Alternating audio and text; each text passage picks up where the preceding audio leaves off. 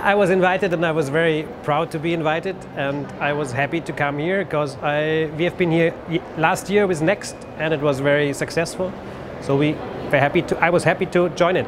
They are made in Poland and we kind of, yeah, we kind of uh, felt that it, uh, it's nice to show a Polish product in, in Poland and it was time now to do so. So we, it's our newest product with Next. So it was natural to show it here.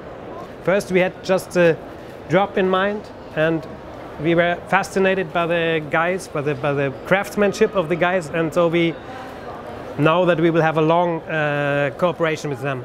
This was, uh, Light actually was, water was the inspiration and when I, the real inspiration was when a drop hits the surface of water and it comes out again and that frozen in glass was the inspiration.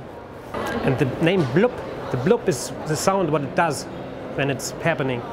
Uh, the difficult part is to keep the idea in the product. That uh, the first idea of this thing, that most of it is transported in the later product and not lost in the technical and uh, material issues, but really kept. That's the designer part.